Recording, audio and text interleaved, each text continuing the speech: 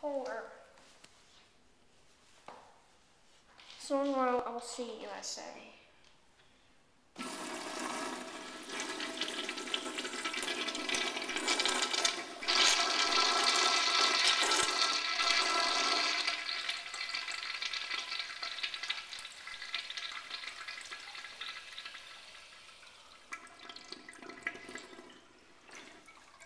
One gallon per flush.